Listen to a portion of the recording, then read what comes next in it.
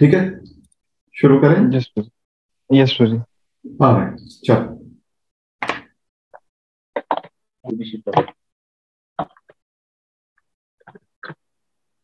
तो जो डिवोटीज प्रश्न पूछना चाहते हैं कृपया अपना हैंड रेस कर लीजिए। तो जब तक डिवोटीज हैंड रेस करते हैं हम्म, मेरे पास गूगल फॉर्म पे जो क्वेश्चंस आए हैं वो क्वेश्चंस मैं लेता हूँ। तो पहला प्रश्न यहाँ पे शरद शिवाजी पवार प्रभु का है। वो पूछ रहे हैं कि, प्रभु ji if we do sakam bhakti then after death we are elevated to higher planets that is from swarg lok to Brahm lok but after again we have to come back but if we do bhakti over there then from there can we be elevated to lords about people from higher planets are more intelligent than us. They may be always in mode of goodness. They may always be engaged in Lord's service. um,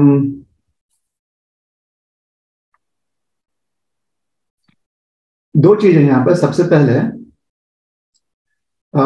भक्ति की परिभाषा ये है कि आप पूरी तरह से अपने तन मन धन से आप भगवान की सेवा कर रहे हो। कायन मनसा वाचा ऐसे। तो अगर आप कोई वैयक्तिक इच्छा रखते हुए सेवा कर रहे हो तो उसे वास्तव में भक्ति नहीं की, कही जा सकती है। हालाँकि भक्ति की प्रक्रिया में व्यक्ति लगा हुआ है। उसके पीछे कारण क्या है? कारण यह है कि भक्ति का अर्थ होता है कि पूरी तरह से जो हमारे आराध्य देवता हैं उनके प्रति हमारा रुझान है, उनके प्रति पूर्ण रूप से हमारा प्रेम है। फिर भी शास्त्र में कभी कभी शब्द का प्रयोग किया जाता है, सकाम और निष्काम। वो यह दर्शाने के लिए कि एक साधक के जीवन में कैसे अलग अलग उसके जीवन में अलग अलग स्तरों से एक साधक पूरी तरह से प्रेम में स्थित हो सकता है। तो यह दर्शाने के लिए इन शब्दों का प्रयोग किया गया है। तो यह समझने वाली बात है कि एक साधक के लिए अलग अलग स्तर होते हैं किंतु भक्ति की परिभाषा ये है कि आप पूरी तरह से अपने आराध्य के प्रति आकृष्ट हैं और उनके प्रति समर्पित हैं। क्योंकि उनके प्रति प्रेम है। अब हर कर्म का फल मिलता है और जो व्यक्ति भगवान के भक्ति में भजन में पूरी तरह से आ, अपना मन लगा चुका है उसका फल यह होता है कि वह भगवान के चरणों को नित्य प्राप्त होता है। अर्थात भगवान की सेवा उसे नित्य रूप से प्राप्त हो जाती है। शरीर त्यागने के बाद भी। तो ये उसका फल होता है। अब ऐसे प्रयास में अगर कोई उसके पिछले कुछ कर्म फल होंगे, उसका कुछ प्रारब्ध होगा तो वो भी पूरी तरह से नष्ट हो जाता है। तो ये समझाया गया है क्योंकि भगवान के प्रति मन लगाने का अर्थ ही ये होता है कि व्यक्ति को किसी और चीज़ में रुचि नहीं होती। तो कर्म फल, उसके पूर्व कर्म फल जो है उसमें भी उसकी रुचि नहीं होती है और ना ही पूर्व कर्म फल जो है उसको लगते हैं या उसके पूर्व कर, पूर्व कर्म फल के अनुसार उसे परिणाम मिलता है। तो ये भक्ति की परिभाषा होगी। साधक के जीवन में एक सकाम वृत्ति का कर्मफल प्राप्त हो सकता है। सकाम कर्मफल यह होता है कि अगर कोई आ, कोई सकाम रख रहा है। और वो शास्त्र अनुसार है प्रभु आपको हम अपने आप को म्यूट करना पड़ेगा जब हम उत्तर दे रहे हैं क्योंकि वहाँ पर बहुत ऐसे शोर होते हैं। तो आ, सकाम भक्ति का जो आ, सकाम आ, सकाम वृत्ति का यहाँ पर हम सकाम भक्ति के बारे में चर्चा कर रहे हैं तो पहले वृत्ति के बारे में चर्चा करेंगे। सकाम वृत्ति से किया हुआ जो कर्म है उसका कर्म फल होगा। अगर वह कर्म जो है आपको एक ऊर्ध्वगति ऊँचे आपको एक कोई स्थान पहुंचाते हैं जिसे हम कभी कभी स्वर्ग कहते हैं तो स्वर्ग लोक की प्राप्ति हो जाएगी। और अगर ऐसी सकाम वृत्ति जो है अनुचित है तो उसका कर्म फल ये होगा कि हमें आ, आ, किसी प्रकार का दंड प्राप्त करने के लिए या हमें सुधार हमें सुधार आ जाए, इसलिए कुछ प्रतिबंध हम पे लगाए जाएँगे, जिसको हम कभी कभी निचली योनियों में जन्म लेना या नरकवास के रूप में भी कहते हैं। तो सकाम वृत्ति के ये फल होते हैं। अब व्यक्ति भगवान के भक्ति में प्रक्रिया में लगा हुआ और सकाम वृत्ति है तो अक्सर यही अपेक्षा होती है कि इसका सकाम वृत्ति जो है, वो उससे योग्य कर्म करवा रहा है, या वो योग्य कर्मों में, या उचित कर्मों में लगा हुआ है। तभी जाकर उसे ऊँचे लोगों की प्राप्ति होगी। अगर कोई व्यक्ति जो है, उसकी सकाम वृत्ति उससे अनुचित कार्य करवा रही है तो उसका कर्मफल उस हिसाब से होगा। तो प्रश्न यह है कि अगर कोई व्यक्ति ऊँचे लोगों की प्राप्ति करता है स्वर्ग लोक की प्राप्ति करता है किंतु उसकी अभिलाषा यह थी, या अभी भी यह है, कि वो पूरी तरह से भगवान के प्रति अपना मन लगाना चाहता है तो हर लोक में, चाहे वो स्वर्ग हो, नरक हो, या इस जगत से परे भी हो जाए, है ना? वो मुक्त व्यक्ति भी हो जाए, हर अवस्था में व्यक्ति के पास स्वेच्छा होती है, कि किस प्रकार से वह अपनी चेतना को प्रदर्शित करना चाहता है। किस प्रकार से वह अपनी चेतना को रखना चाहता है? हर व्यक्ति के पास उसका एक फ्री विल होता है उसकी एक स्वेच्छा होती है। स्वतंत्र इच्छा जिसे कहते हैं। तो स्वर्गलोक की के निवासी भी अपने स्वेच्छा को इस प्रकार से व्यक्त कर सकते हैं और वह भगवान के प्रति अपनी सेवा वृत्ति को अशुद्ध रूप में व्यक्त कर सकते हैं। तो अगर हम में से कोई भी स्वर्गलोक की प्राप्ति करता है तो आ, किसी कारण से तो हमारे पास वहाँ पर भी अवसर होता है कि हम भगवान की सेवा कर पाए। उसी प्रकार से अगर निचले लोकों में भी आ, हमें किसी कारण से जाना पड़े या नरक में भी जाना पड़े वहाँ पर भी हमारी स्वेच्छा व्यक्त कर सकते हैं। भले वहाँ पर दंड स्वरूप में हमें कितने भी बाधाएँ आ जाए, लेकिन स्वेच्छा क्षमा कीजिएगा। लेकिन अगर हमारी स्वेच्छा यह है कि हम भगवान की सेवा करना चाहते हैं तो निचले लोकों में या नर्क लोकों में या निचले योनियों में भी हम वैसा कर सकते हैं। तो यह जो हमारी स्वेच्छा है, जो हमारा फ्री विल है, इसमें अत्यंत बल होता है। और और एक बात कही गई कि हाँ स्वर्ग लोक के निवासी जो हैं, ज़्यादा ज़्यादा बुद्धिमान होते हैं। ऐसी बात नहीं है। बुद्धि की क्षमता जो है, हर अवस्था में होती है। और किस प्रकार से हम अपने बुद्धि को व्यक्त करते हैं, उसके अनुसार बुद्धि का स्वरूप होता है। तो आप ये कह सकते हैं कि जो योग्य बुद्धि है वो व्यक्त करने के लिए स्वर्गलोक में ज़्यादा संधियाँ होती हैं। लेकिन यह कहना कि स्वर्गलोक के निवासी जो हैं ज़्यादा बुद्धिमान है ये योग्य नहीं होगा। संधियाँ ज़्यादा होती हैं। जैसे अगर गाँव में कोई आ, बच्चा बहुत मेहनती बच्चा है गाँव में रहता है एकदम बिल्कुल अंदरूनी इलाके में रहता है तो अध्ययन करने के या अपनी बुद्धि व्यक्त करने के उसकी संधियाँ या उसके जो ऑप्शंस होते हैं वो कम होते हैं। आ, शहर में अगर कोई बच्चा होगा हो उसके हाँ बराबरी में देखा जाए। लेकिन फिर भी आ, उन अवसरों का उन संधियों का उन मौकों का उन ऑप्शंस का उन अपॉर्चुनिटीज़ का व्यक्ति प्रयोग कैसे करता है उसके अनुसार उसके उसकी बुद्धि का स्वरूप होता है। तो अगर किसी के पास कम अवसर हैं कम संधियाँ हैं कम अपॉर्चुनिटीज़ हैं जैसे गाँव में रहता हुआ कोई बालक हो लेकिन वो खूब मेहनत करता है जितने भी उसके पास अपॉर्चुनिटीज़ उसका पूरा पूरा प्रयोग करता है। तो शहर में रहने वाले जो बच्चे होते हैं आ, शायद उनसे भी आगे निकल जाए वो बालक तो सत्य तो यह है कि शहरों में ज़्यादा अपॉर्चुनिटीज़ होते हैं गाँव में थोड़े कम अपॉर्चुनिटीज़ होते हैं ये बात सही। जब हम अध्ययन के दृष्टिकोण से या आ, स्कूल एजुकेशन के दृष्टिकोण से देखें तो। किंतु इसका यह अर्थ नहीं है कि शहरों में ज़्यादा बुद्धिमान लोग रहते हैं और गाँव में कम बुद्धिमान लोग रहते हैं, ऐसी बात नहीं है।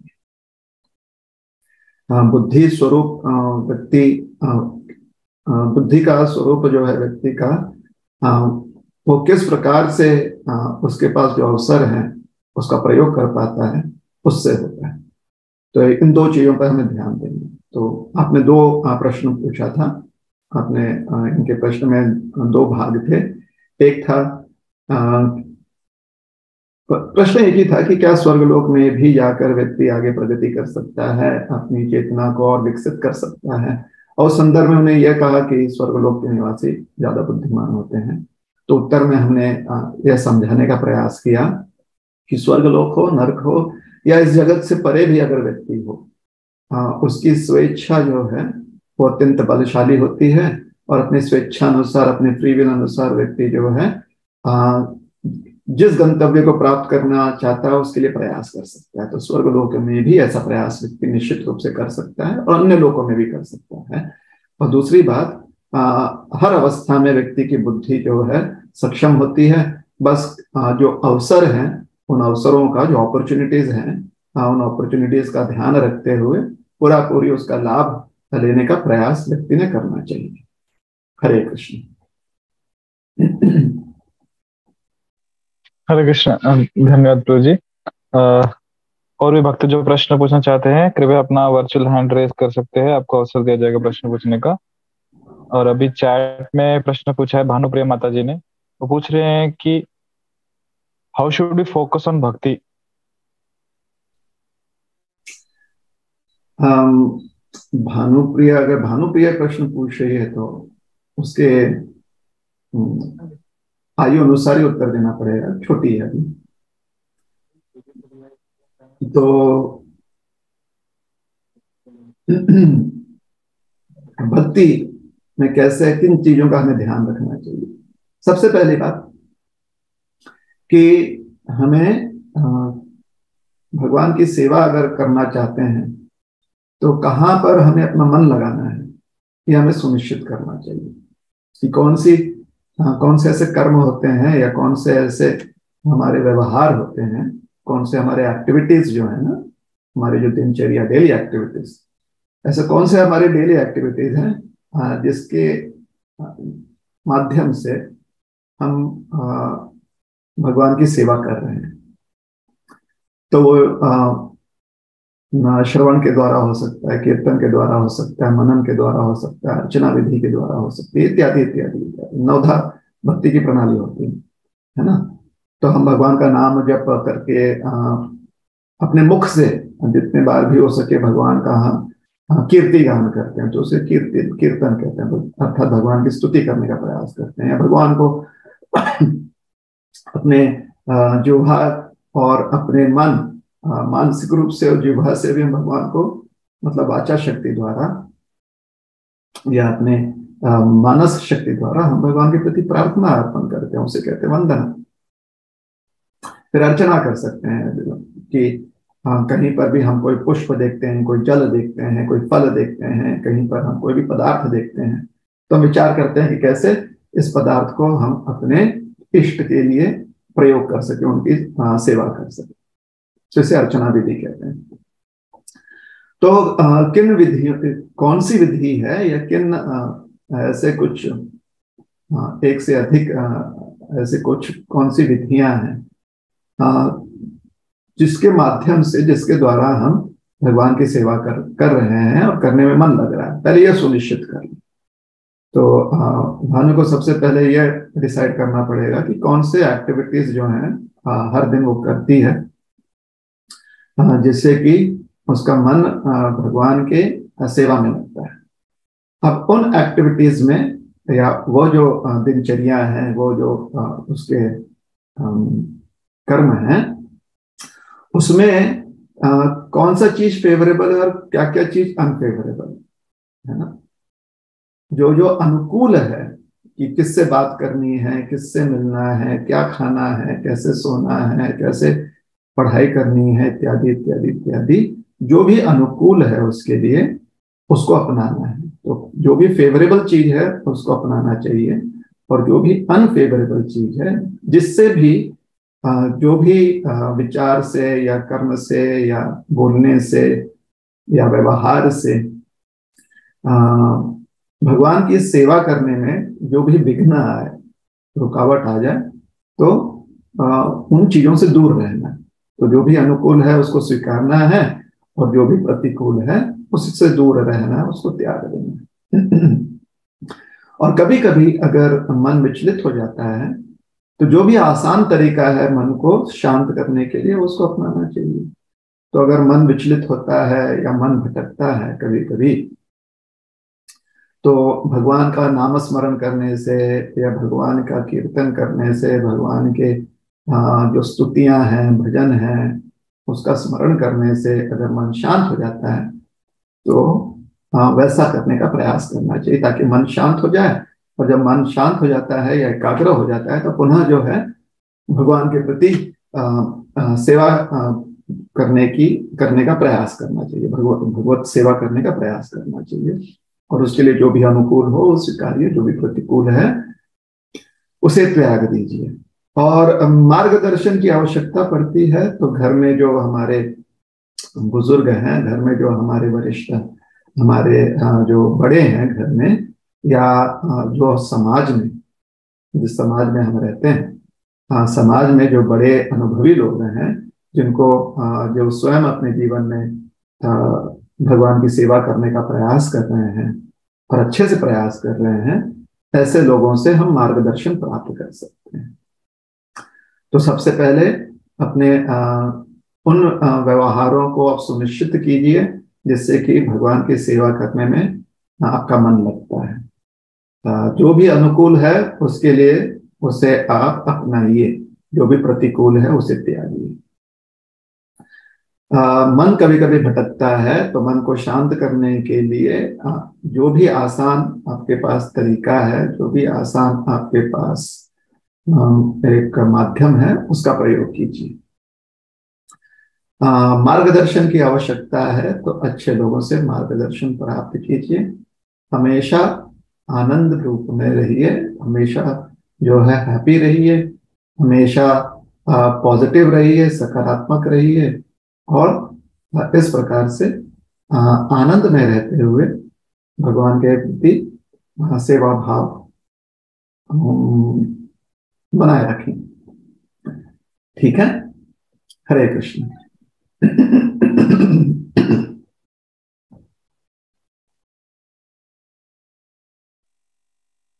हरे कृष्ण। धन्यवाद गुरु जी यहाँ पे अगला प्रश्न अर्चना प्रेस माता जी पूछ रहे हैं अपना हैंड रेस किए माता जी आप माइक ऑन करके प्रश्न पूछ सकते हैं। हरे कृष्णा प्रभु जी दंडवत प्रणाम। हरे कृष्णा। प्रभु जी हम बार बार सुनते हैं कि आसक्त नहीं होना चाहिए। तो वास्तव में आसक्ति किसे कहे? और हम किससे मतलब हमारे पास तो बहुत विषय है कि हम कभी भी आ, जब कथाएँ सुनते हैं तो बहुत महात्माएँ हैं जो आ, मतलब आसानी से किसी आ, इसमें आसक्त हो गए हैं। तो अभी हमारे पास तो बहुत ऐसे साधन है कि हम आसक्त हो सकते हैं और हम उसे समझ भी नहीं सकते। तो ऐसे में हम आसक्ति को कैसे समझे फिर हमारे? हो रहे हैं या नहीं हो रहे ठीक है। सबसे पहली बात यह है कि योग्य आसक्ति होनी चाहिए जीवन में। क्योंकि जहाँ पर भी योग्य आसक्ति है, वहाँ पर मन लगेगा। और अगर किसी प्रकार से जो अयोग्य है, अनुचित है, उसमें मन आसक्त होता है तो फिर अनासक्ति की बात आती है। तब आती है बात कि आसक्त नहीं होनी चाहिए, नहीं होना चाहिए हमें उन चीज़ों से। तो दो चीज़ है ना यहाँ पर, कि जो योग्य है, उससे हम आसक्त हो जाए। और जो अनुचित है, जो अयोग्य है, उससे हम अनासक्त हो जाए या उससे आसक्ति त्याग दें।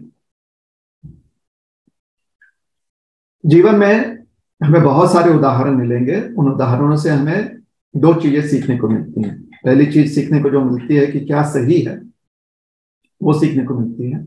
और दूसरी चीज़ हमें सीखने को मिलती है कि क्या सही नहीं है या क्या गलत है हमारे लिए, वो सीखने को मिलती है। तो हमारे लिए क्या सही है, क्या गलत है, ये हमें समझ में आता है जीवन के अनुभवों से।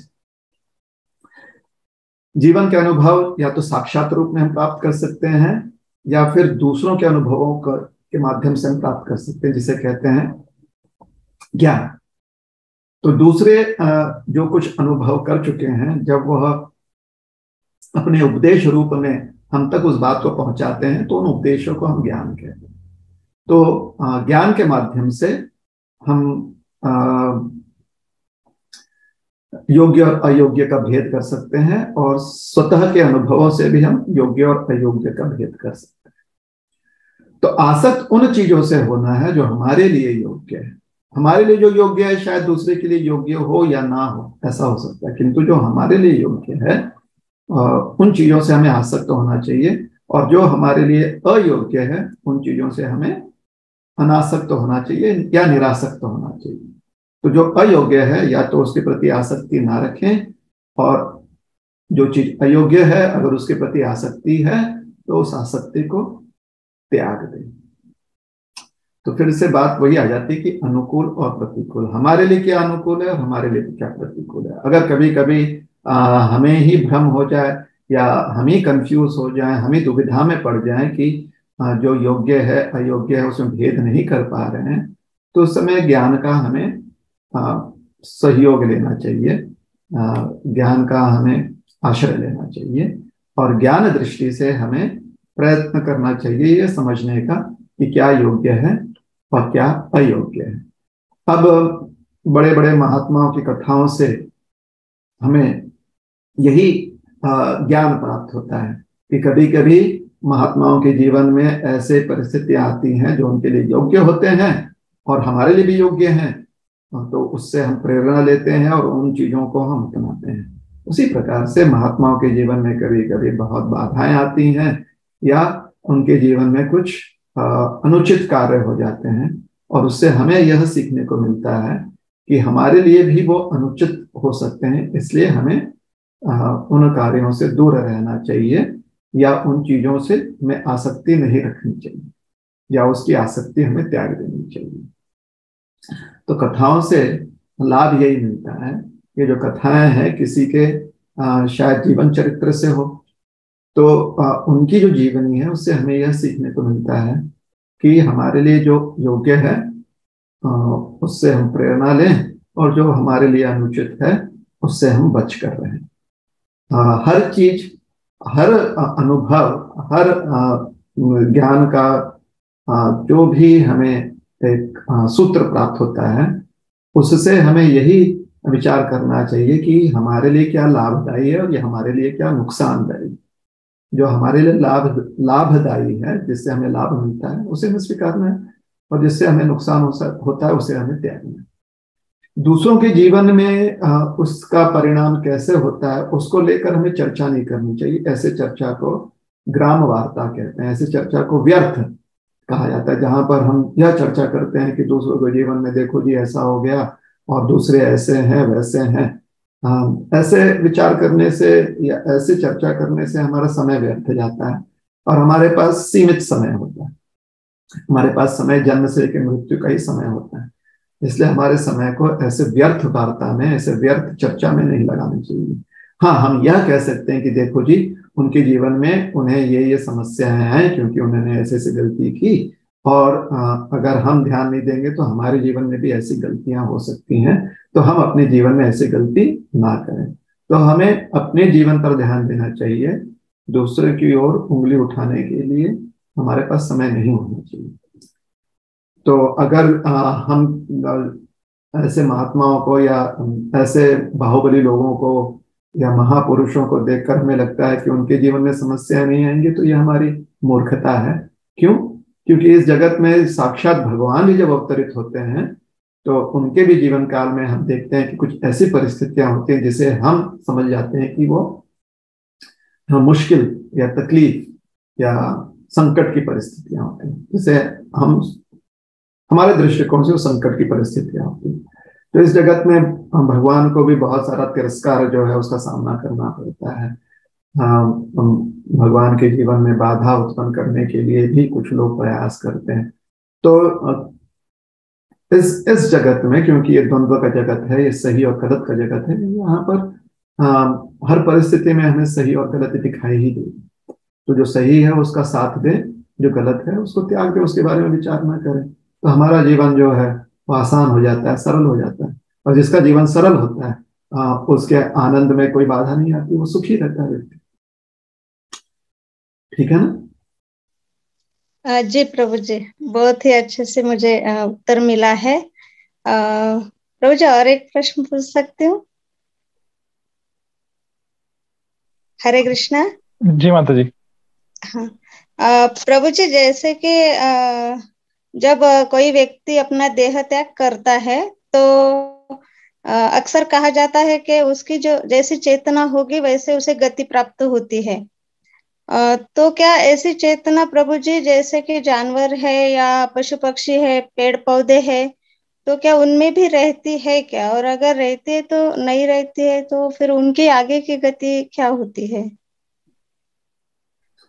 चेतना सभी में आ, समान गुण के ही होते हैं। खाली उसके उसका प्रदर्शन व्यक्ति कैसे करता है उस पर निर्भर करता है कि वो व्यक्ति सिर्फ़ आ, आ, पशु कार्य में लगा हुआ है या मानवीय कार्य में लगा हुआ है? जब उसकी चेतना जो है पार्श्विक कार्य में ही पूरी तरह से रत होती है तो फिर हम उनको पशु कहते हैं। और उनकी चेतना जो है, वो मानवीय कार्य में के प्रति लगी रहती है तो उसे हम मानव वृत्ति कहते हैं। तो पशुओं में भी ऐसी मानव वृत्ति दिखाई पड़ सकती है और मानव में भी ऐसी पार्श्विक वृत्ति दिखाई पड़ती है। तो पार्श्विक वृत्ति और मानव वृत्ति में अंतर क्या है? तो धर्मशास्त्र में समझाया गया कि धर्मो ही तेषाम अधिको विशेषो धर्मे नहीं न पशु भी समान जहाँ पर धर्म की एक धर्म का संज्ञान हो, धर्म के बारे में व्यक्ति जानता हो, धर्म अर्थ जो योग्य है अपनी चेतना को शुद्ध करने के लिए वो धर्म है, और जो अयोग्य है वो अधर्म है, अर्थात वो हमारे लिए अनुचित है। इसे एक धर्म की परिभाषा समझ सकती हैं। कि चेतना को विकसित करने के लिए क्या आवश्यकता होती है। विकसित चेतना सरल शब्दों में वह चेतना है जो हमेशा शांत और आनंदी रहती है, उसे कहते हैं विकसित चेतना। जहाँ पर भी चेतना में कोई भी बाधा आ जाए, कोई चिंता आ जाए, जैसे भूख, प्यास या फिर दुख इत्यादि तो वह चेतना अभी पूरी तरह से विकसित नहीं है, पूर्ण विकसित चेतना नहीं और जहाँ पर व्यक्ति इन चीज़ों से मुक्त है, और सिर्फ़ मुक्ति नहीं है, बल्कि आनंद में है, शांत है तो उस चेतना को पूर्ण विकसित चेतना कही जाती है। भगवान क्योंकि सब चीज़ के सूत्र स्रोत हैं इसलिए जब मन उनके या चेतना उनमें पूरी तरह से लग जाता है तो पूर्ण विकसित चेतना वो मानी गई है। तो आ, किसी भी योनि में आ, चेतना की ऐसी प्रदर्शनी हो सकती है। अक्सर जो पशु योनि होता है उसमें उनकी चेतना जो है सिर्फ़ आ, ऐसे ही आ, आ, जो जिसे कहते हैं पार्श्विक भावनाएँ उनमें ही व्यक्त होती है। फिर फिर भी हमारे शास्त्रों में गजेंद्र इत्यादि जो पशु योनि में स्थित जीव हैं, उनके उदाहरण आते हैं और ये सारे जो हैं, ये उच्च चेतना रखने वाले जीव माने गए है। ना? जैसे गजेंद्र स्तुति बहुत प्रचलित है हिंदू संस्कृति में, हमारे वैष्णव संस्कृति में। और गजेंद्र जो है, वो गजराज थे। गज थे हाथी थे। या फिर जटायु जी। क्या हम जटायु जी का भी उदाहरण ले सकते हैं पक्षी हैं। तो चेतना विकसित होती है उनकी। अक्सर जो है योनि के अनुसार ही चेतना व्यक्ति व्यक्त करता है। तो पशु योनि में जब व्यक्ति साधारण रूप से जन्म लेता है तो वो सिर्फ़ मात्र अपना प्रारब्ध जो है उसके अनुसार जन्म लेगा मानव योनि में पुनर्जन्म लेने का हाँ या मानव योनि में जन्म लेने के दो कारण हो सकते हैं। एक या तो पूर्व जन्म में, में इस जन्म के पूर्व जो जन्म था उसमें भी वो मानव था या दूसरा पशु योनि से वो मानव बना हुआ है। पशु योनि से जब वो मानव बनता है तो सिर्फ़ उसके जो पूर्व प्रारब्ध है मतलब जब वो मानव था किसी पिछले जन्म में तो उस पूर्व प्रारब्ध के अनुसार वो पशु योनि से मानव योनि में आया हुआ है। किंतु अगर आ, कोई पिछले जीवन में मानव रहकर इस जीवन में पुनः मानव योनि में आया है तो सिर्फ़ उसके आ, आ, पिछले जो मतलब दो जन्म पूर्व जो मानव योनि थी आ, उसके प्रारब्ध के अनुसार नहीं आ रहा है। पिछले जीवन के मानव योनि के प्रारब्ध के अनुसार आ रहा है। अर्थात मानव योनि में जो व्यक्ति जन्म लेता है वो अपने पिछले मानव योनि के प्रारब्ध अनुसार जन्म लेता है। अगर उसके पिछले मानव योनि और इस मानव योनि के बीच में कोई पशु पाश्विक योनि में उसे नहीं जाना पड़ा है तो हम कहते हैं कि हाँ ये पिछले जीवन में भी मानव था इस जीवन में भी मानव ही है। तो ऐसे उसे कर्म रहे हैं। किंतु अगर पिछले मानव योनि के और इस मानव योनि के बीच में उसे पशु योनि में जाना पड़ा हुआ है तो उस, उस पशु योनि में वो सिर्फ़ अपने पिछले मानव योनि का जो प्रारब्ध है उसके अनुसार वो जन्म ले रहा है। इसलिए पशुओं के कर्मों का फल नहीं लगता। वो तब तक जो है पशु योनि में जन्म लेते रहेंगे। निचले पार्श्विक योनि से थो, थोड़े से प्रगत प्रगत पशु योनि है उसमें उनका जन्म होते रहेगा। जब तक कि वो मानव योनि में जन्म लेने के उनके कर्म ना हो जाए। तो पिछले मानव योनि का जो हमारा कर्म होता है उसके अनुसार हमारे कर्म फल जो है कुछ ऐसे होते हैं आ, जो मानव योनि में जन्म लेने के योग्य नहीं होते और कुछ ऐसे होते हैं जो मानव योनि में जन्म लेने के योग्य होते हैं। अब यमराज जी के पास यह जो है शक्ति दी गई है एक क्षमता दी गई है कि वह निश्चित करते हैं कि किस योनि में अगला जीवन हमारा होना चाहिए। आ, तो अगर अगला जीवन जो है वो पशु योनि में एक किसी भी जीव का होता है मानव योनि से लेकर पशु योनि में अगला जीवन होता है तो उस योनि में उसके जो मानव योनि में जो कर्म फल थे जो उसे पुनः मानव जन्म दिला सके वो संचित कर्म के रूप में रखे जाते हैं और यह संचित कर्म जो है उसका तब फलित होता है जब पूरी पूरी तरह से पशु योनि में जन्म लेने के कर्म फल उसके समाप्त हो जाते हैं तो एक पशु योनि से दूसरे पशु योनि में जाकर फिर तीसरे पशु योनि में जाकर जब पूरा उसके उसका जो प्रारब्ध है तो उसके संचित कर्म फल थे वो जब पूरी तरह से समाप्त हो जाते हैं तो फिर उस पशु योनि में आ, उस जीव के पास अब सिर्फ़ उसके मानव योनि में जन्म लेने के संचित कर्म होते हैं। और फिर वह जीव जो है मानव योनि में जन्म लेता है। तो इस प्रकार से हमारे शास्त्र समझाते हैं कि कैसे व्यक्ति का किसी भी जीव का पुनर्जन्म होता है। तो फिर कुछ जीव जो है पशु योनि में रहते हुए कैसे मुक्त आत्मा के भावना को व्यक्त करते हैं? क्योंकि मानव योनि में उसके ऐसे भी कर्म कुछ होते हैं जो संचित कर्म होता है, जिसका भगवान कहते कभी नाश नहीं होता। अगर किसी व्यक्ति ने भक्ति कोई सेवा की हो, भक्ति भगवान की की हो, और शुद्ध मन से की हो, लेकिन वह भक्ति पूरी तरह से अपने अपने जीवन भर में नहीं किया हो तो जिसने भी क्षण उसने सेवा की है वो आ, सेवा कभी भी नष्ट नहीं होता है।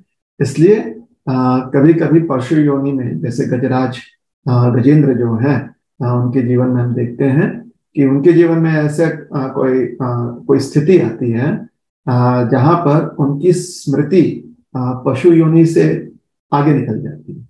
उनकी स्मृति होती है। चेतना में हमेशा से हमारे जो है पूर्व जन्म के कुछ स्मृतियाँ होती हैं, जिसे संस्कार कहते हैं। तो गजेंद्र जीव, जी के जीवन में ऐसा हुआ कि उनके पूर्व संस्कार जो है जो उनकी पार्श्विक वृत्ति है, उससे ऊपर उठते आ गई। और ये हमेशा से संभव है, क्योंकि स्वेच्छा और स्वतः का जो बल है, बल शक्ति जो है, वो हमेशा से हर जीव के पास होता है। कभी कभी जीव, क्योंकि बहुत कमज़ोर हो जाता है, बहुत ही मायूस हो जाता है तो इस स्वेच्छा को उस रूप में व्यक्त नहीं कर पाता। और जिस दिन वो पूरी तरह से अपने आप को प्रबल समझता है अपने आप को शक्तिशाली समझता है तो अपनी चेतना को उस रूप से वो व्यक्त कर सकता है। उस समय योनि का बंधन नहीं होता उसके जीवन में। तो आ, कुछ उदाहरण है। आ, जैसे जटायु जी के जीवन का हमको उदाहरण मिलता है। आ, या फिर गजेंद्र जी के जीवन का उदाहरण मिलता है ऐसे उदाहरण है शास्त्रों में जहाँ पर देखा जाता है कि व्यक्ति जीव जो है, हमें समझाया समझाया गया है कि जीव जो है, अपने पार्श्विक वृत्ति से ऊपर उठकर और जो सेवा भाव है भगवान के प्रति वो व्यक्त करता है जी ठीक है? जी प्रभु जी बहुत बहुत धन्यवाद प्रभु जी आपका। हरे कृष्ण हरे कृष्ण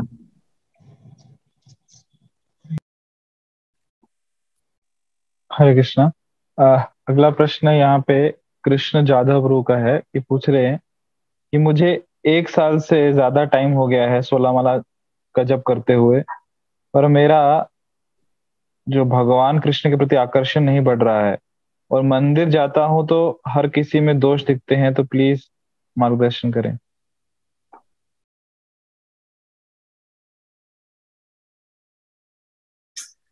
अच्छा। भगवान का नामस्मरण करने का जो पद्धति है, उसमें ये बात स्पष्ट कही गई है कि भगवान के नाम स्मरण करने में मन लगाने का प्रयास करना चाहिए। सिर्फ़ जुहा से। जुहा से हम तभी प्रयास करते हैं जब हमारा मन शांत ना ना हो।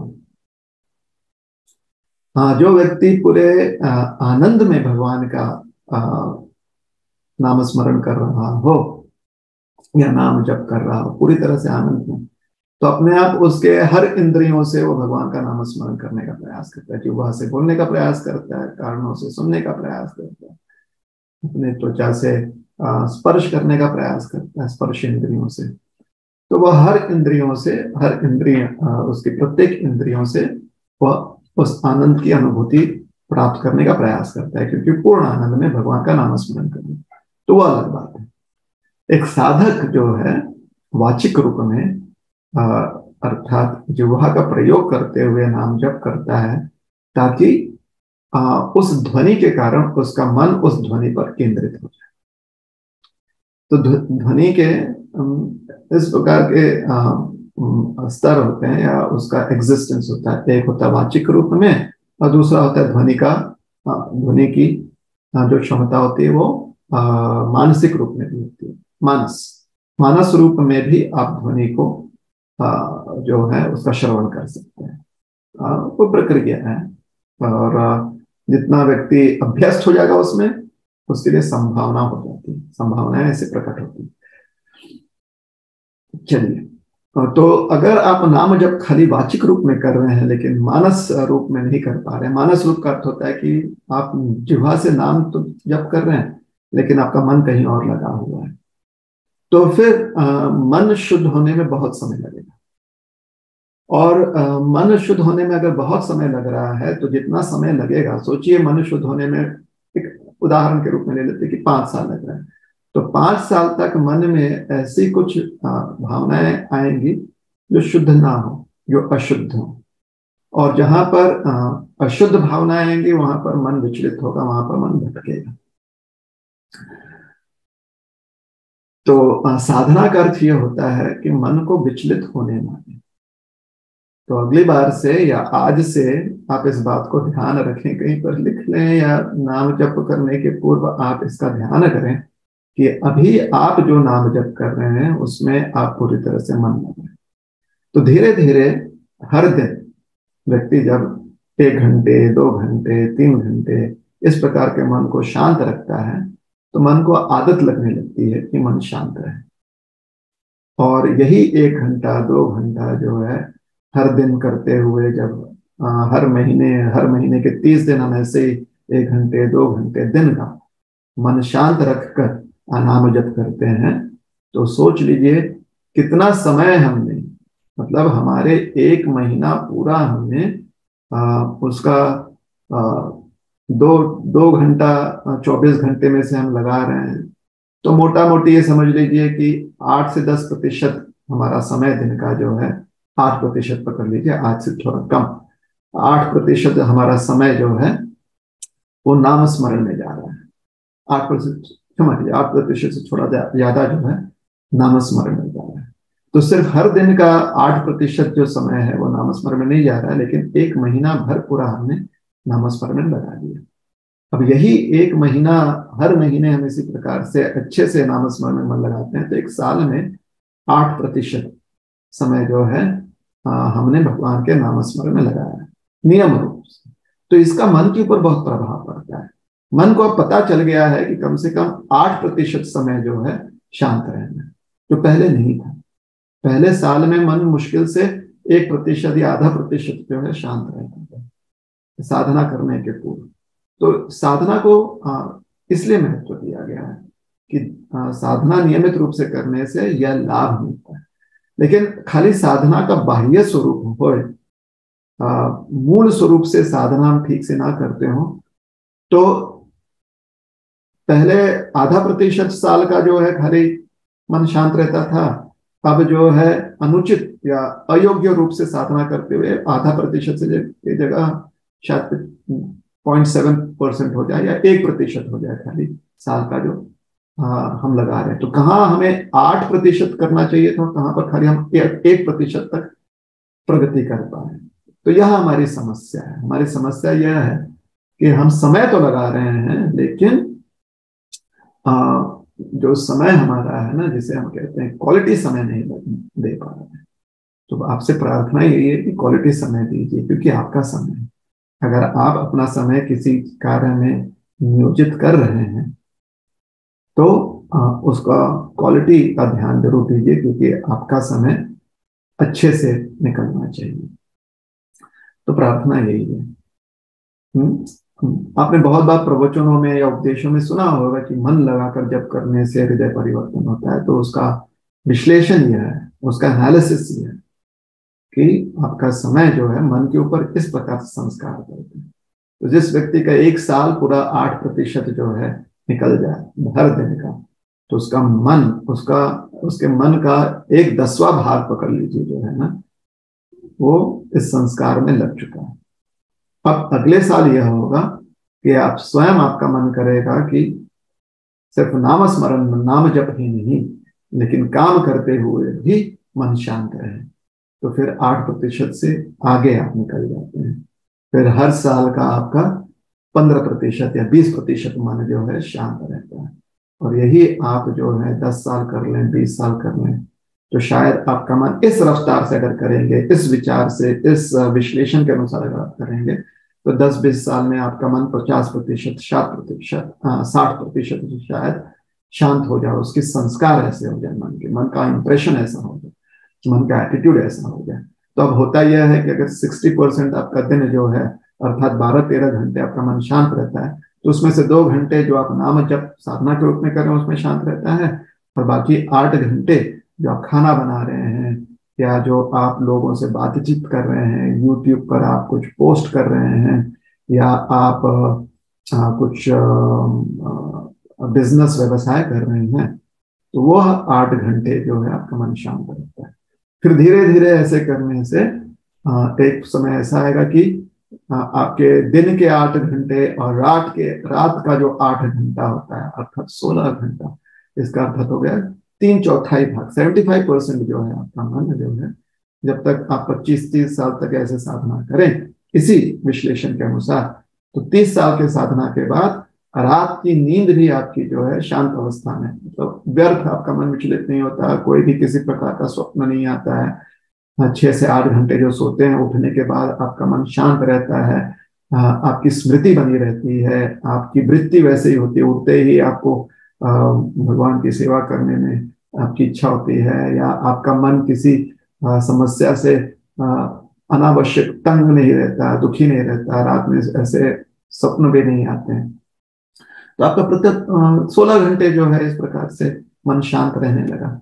और फिर जो बाकी का समय बचा हुआ है, पच्चीस प्रतिशत, आठ घंटे जो बाकी बचे, पच्चीस, छियासठ प्रतिशत हो गया ना, सड़सठ प्रतिशत पैंतीस प्रतिशत जो बाकी रह गया है, आपके जीवन का समय अब मन के पास जो है, अब मन अगर सड़सठ प्रतिशत सिक्सटी सेवन परसेंट शांत रहने लगा है तो बाकी तैतीस प्रतिशत जो बचा हुआ है वो कमज़ोर पड़ जाता है। फिर जो है, वो तैतीस तैतीस प्रतिशत को शांत करने में मुश्किल से तीन, चार साल और लग जाते हैं। तो इस प्रकार से तीस साल, चालीस साल अच्छे से साधना करने से हमें ऐसा फल प्राप्त होता है। लेकिन यही जो है, अगर हम ध्यान ना दें जो अभी हम दो घंटा जो आठ प्रतिशत हमें लगाना चाहिए क्वालिटी टाइम देना चाहिए उसमें ध्यान ना दें। तो तीस साल बीत जाएँगे चालीस साल बीत जाएँगे आ, हम, हम शायद आठ प्रतिशत पर भी ना पहुँच पाए क्योंकि गलती हमारी हो गई हमारी हमारा प्रॉब्लम है। और वही अगर हम बहुत ध्यान पूर्वक करें तो शायद एक साल में ही हमारा मन जो है पचास प्रतिशत शांत हो जाए यह भी संभावना है। अब हम पर निर्भर करता है कि हमारा समय हम कैसे प्रयोग कर रहे हैं। ठीक है? तो इसका आप ध्यान दीजिए, इसका ध्यान देंगे। तो जो भी अनुकूल आपकी वृत्तियाँ होनी चाहिए, आपकी आदतें होनी चाहिए, वो अपने आप प्रकट होंगी। और अगर आप इसका ध्यान नहीं दे पा रहे हैं तो जो प्रतिकूल है, जो अयोग्य वृत्तियाँ हैं, वो वैसे के वैसे ही रह जाएँगी। थोड़ी कमी हो जाएगी। पहले ऐसी वृत्तियाँ जो हैं दस बार आपके जीवन में आते थे अभी क्योंकि आप थोड़ा कम से कम दो घंटा या एक घंटा जो है नाम जब नाम स्मरण लगा रहे हैं। तो पहले दस बार आते थे तो अभी साढ़े नौ बार आएँगे नौ बार आएँगे। आधा एक जो है कम हो जाएगा। तो समय कितना लगाना है, कैसे अपने समय का प्रयोग करना है, ये शास्त्र समझाने का प्रयास करते हैं। और जो मार्गदर्शन प्राप्त हो रहा है, उसमें ये बताने का प्रयास किया जाता है। उसका फल तभी आपको मिलेगा जब आप स्वयं यह प्रयास करेंगे। हरे कृष्ण।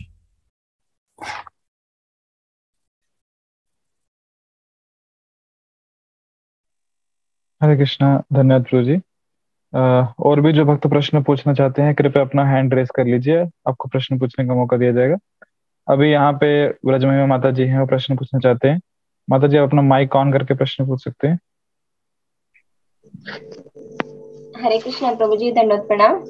हरे कृष्ण प्रभु जी मेरा क्वेश्चन ये है कि जब कोई भक्ति में कम उम्र में जुड़ता है और कोई भक्त ज़्यादा उम्र में जुड़ता है तो भगवान उनको इस जन्म में भक्ति पूरे करने का अवसर देते हैं क्या? भगवान हर जीवन में और हर क्षण में सभी को यह अवसर देते हैं कि वो अपने जीवन को पूर्ण रूप से आनंद नहीं बना सके। ओके और दूसरा क्वेश्चन और जब कोई भक्त भक्ति में इतना आसक्त होता है और समय और खुद को भूल जाता है तो क्या अच्छी भक्ति का प्रमाण है? आसक्ति का सिर्फ़ यही स्वरूप नहीं होता है कि उसको समय पूरी तरह से उसमें लगा हुआ है। आसक्ति का प्रमाण यह होता है कि व्यक्ति अपने समय का प्रयोग जो है, वह सेवा रूप में करे। तो कभी कभी सेवा का स्वरूप होता है कि पूरा से, पूरी तरह से व्यक्ति ध्यान मग्न हो जाए, अर्थात वो किसी भी चीज़ में, बाह्य चीज़ों में, कार्यों में ध्यान दे। और कभी कभी इसका स्वरूप होता है कि बाह्य चीज़ों में वो पूरी तरह से लगा रहे, किंतु हमेशा से उसकी भावना सेवा की होती है। तो सेवा के दो स्वरूप हो सकते हैं। या तो आप अंतर ध्यान अंत ध्यान में लगे रहें, अर्थात ध्यान अवस्था में अपनी इंद्रियों को पूरी तरह से समेट लें, या फिर सेवा का स्वरूप यह भी होता है कि आपके इंद्रियों से आप सारे कार्यों में लगे हुए हैं, किंतु आपका मन जो है पूरे शांत है, आनंद में। विचलित नहीं ठीक है? ओके प्रभु जी ठीक है। हरे कृष्णा प्रभु जी खूब खूब धन्यवाद। हरे कृष्ण। हरे कृष्णा और भी जो भक्त प्रश्न पूछना चाहते हैं कृपया अपना हैंड रेस कर सकते हैं। जय श्री माता जी प्रश्न पूछना चाहते हैं। माता जी आप प्लीज़ माइक ऑन करके प्रश्न पूछ सकते हैं। हरे कृष्णा हरे कृष्णा। हरे कृष्णा। माता जी आपके इसमें दो जूम चालू है एक जूम को बंद कर दीजिए प्लीज़ हाँ हरे कृष्णा प्रभु जी। ओ बंद। सॉरी प्रभु जी।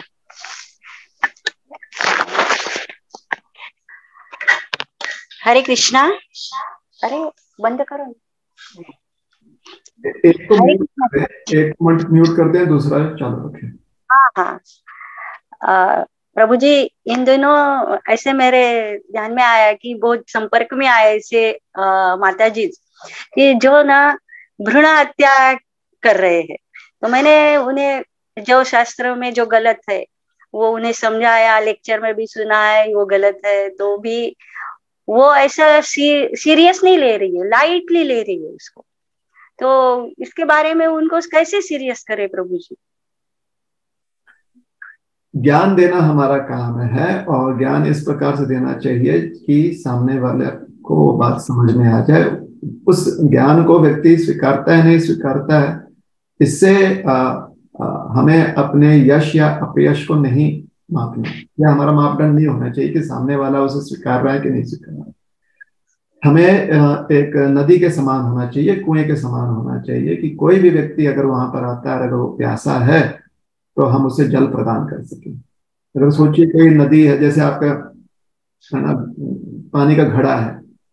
अगर वो यह सोचे कि देखो, आज मेरे पास जो है ना, पाँच लोग आए पानी पीने के लिए तो आज मेरा दिन अच्छा गया। या आज कोई नहीं आया तो आज मेरा दिन बुरा गया। तो इससे, ऐसे घड़े को अपना मापदंड नहीं रखना चाहिए, यश का या यश का। उसे यही देखना चाहिए कि जो भी उसके पास आया है क्या उसकी प्यास बुझी है या नहीं बुझी? उसी प्रकार से अगर आपको लगता है कि इस बारे में ज्ञान देना चाहिए लोगों को, क्योंकि ये बहुत आवश्यक है तो आप ज्ञान देते रहिए और इस प्रकार से ज्ञान देने का प्रयास कीजिए कि सामने वाले को बात समझ में आ जाए। तत्पश्चात वह व्यक्ति कैसे उस ज्ञान का प्रयोग करता है, उस व्यक्ति पर आप उसे छोड़ दीजिए। आप जो है, आवश्यकता पड़ने पर पुनः उन्हें ज्ञान दे सकते हैं। या किसी और को आप ज्ञान देने का प्रयास करें। ठीक है? थैंक यू प्रभु जी हरे कृष्णा। प्रदीप दीक्षित आप माइक ऑन करके प्रश्न पूछ सकते हैं।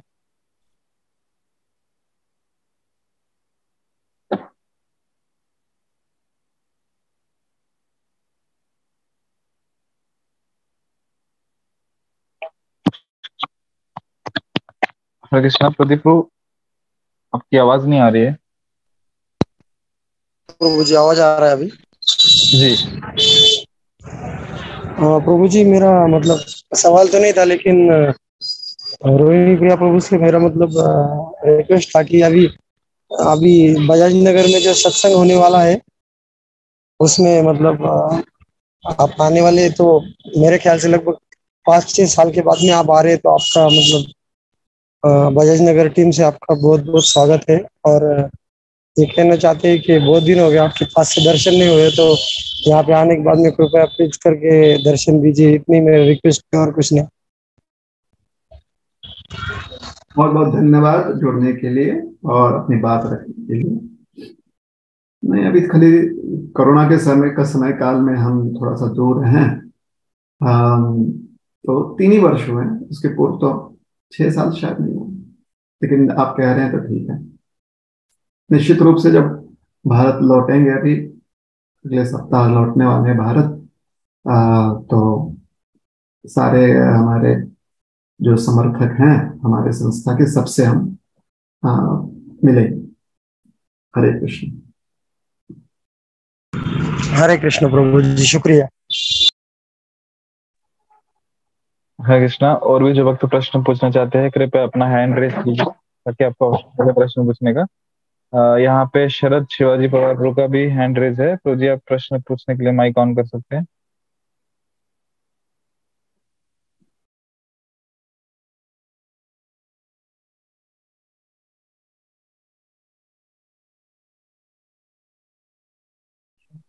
हरे कृष्ण, शरद आप माइक ऑन कर सकते हैं अपना प्रश्न पूछने के लिए।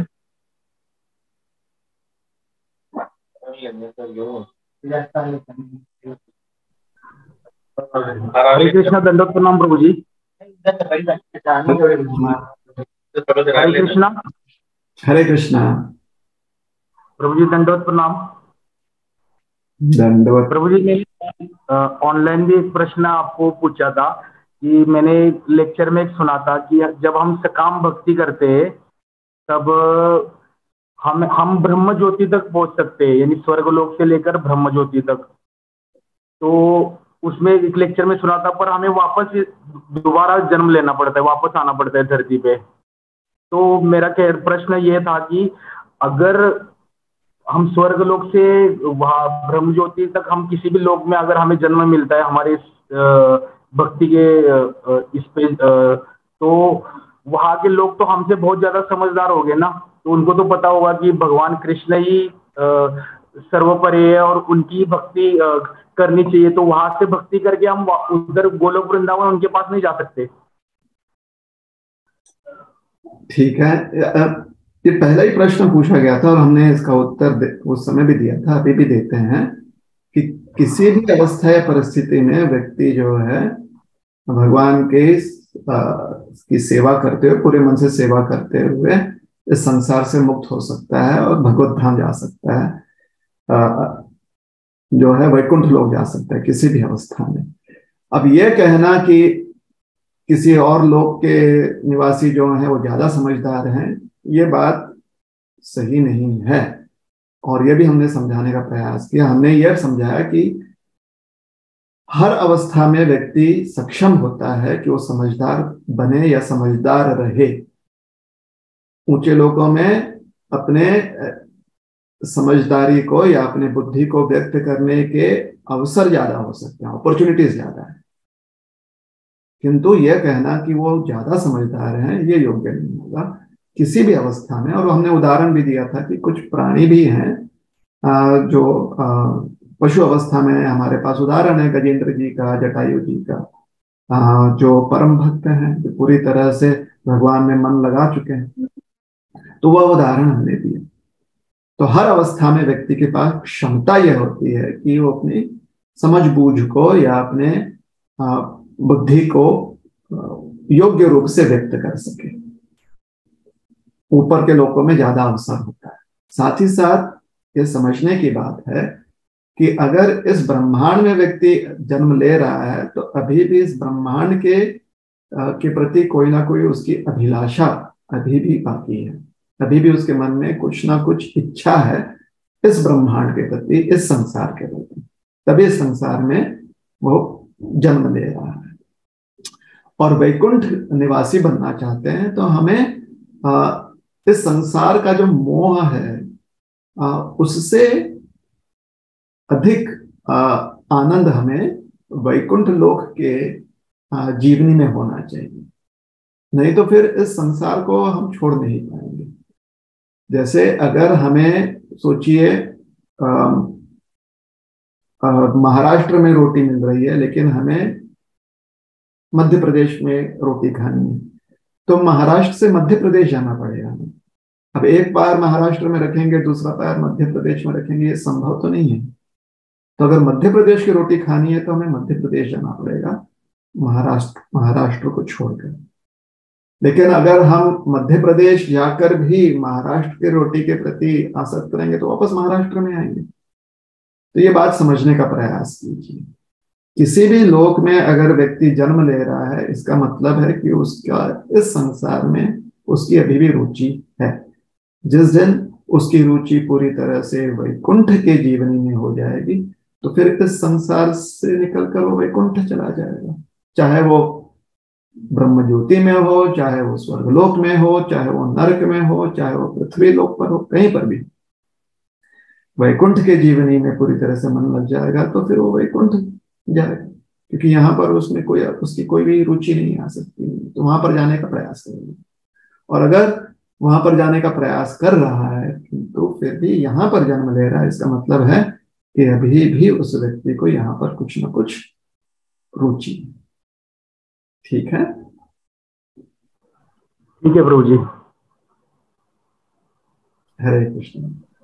हरे कृष्ण हरे कृष्णा और वे जो भक्त प्रश्न पूछना चाहते हैं कृपया अपना हैंड रेस कीजिए। आपको अवसर दिया जाएगा प्रश्न पूछने का। तब तक जो गूगल फॉर्म पे प्रश्न आया मैं वो पूछता हूँ। तो यहाँ पे सुनील जी का प्रश्न है वो पूछ रहे हैं कि suffering from past bad thoughts regret thoughts And sometimes future worry thoughts facing difficulty to focus exactly उनका क्वेश्चन नहीं है उन्होंने अपनी सिचुएशन यहाँ पे एक्सप्रेस की है Well, the answer is simple. If you if our focus is on the future and we are worried about it, or if our focus is on the past and we have regret for it, then we do not have time to work in the present. And if we don't work in the present, then we cannot change our situation. So if you want to change our situation right now, if you want to do better than where we are right now, then we have to focus on the present and whatever opportunities and resources are available in the present. So our request is that kindly focus on the present and whatever resources you have available in the present.